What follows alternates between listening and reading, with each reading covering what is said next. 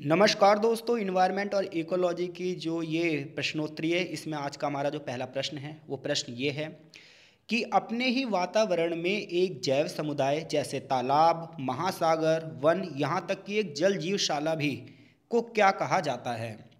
आपके सामने ऑप्शन है जीवोम या फिर बायोम, दूसरा ऑप्शन है समुदाय, तीसरा है अजैव वातावरण, और चौथा है पारिस्थितिकी तंत्र। तो प्रश्न को एक बार फिर से पढ़ लीजिए। अपने ही वातावरण में एक जैव समुदाय है।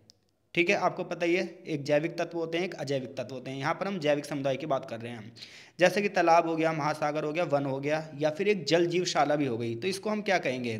तो क्या इसको हम जियोम या बायोम कहेंगे, या समुदाय कहेंगे, या अजैव वातावरण कहेंगे, या पारिस्थितिकी तंत्र कहेंगे?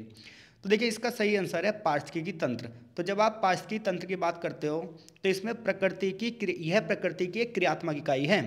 इसके भीतर सभी जैविक समुदाय आते हैं। तो सारे सारे जो जैविक समुदाय हैं, वो किसके अंतर्गत आते हैं? वो आते हैं पार्षिकी तंत्र के अंतर्गत।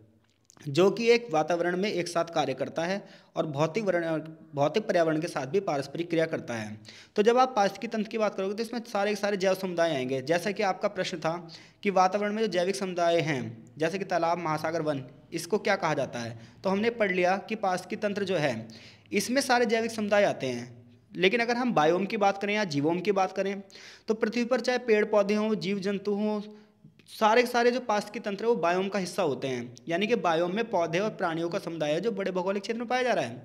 वहीं अगर हम समुदाय की बात करें तो समुदाय विभिन्न प्रजातियों का एक समूह है।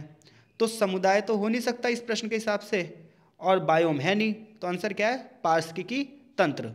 तो इस प्रकार के जो प्रश्न आएँगे तो इसका उत्तर देते वक्त आपको सारी व्याख्याएँ भी पता होनी चाहिए।